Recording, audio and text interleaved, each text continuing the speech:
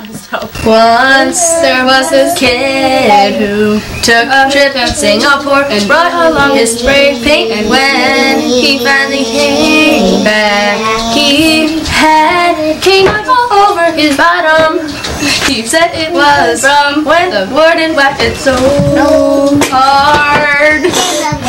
Once there was a girl swore one day that she would be a figure skating champion. And when she finally made it, she saw some other girl who was better.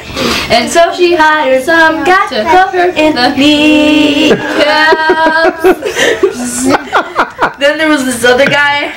You don't want to know what happened to him. Yeah, they do. Sing it. Once there was this guy who made his wife so mad one day that she cut off his. Oh gosh, it's the Bobbitt. go, go. His I wiener. skip that Ooh. Oh, no.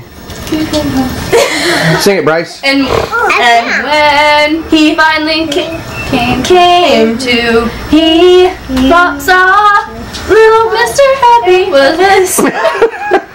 he said that. Wait. He, something. Messed up. I don't know.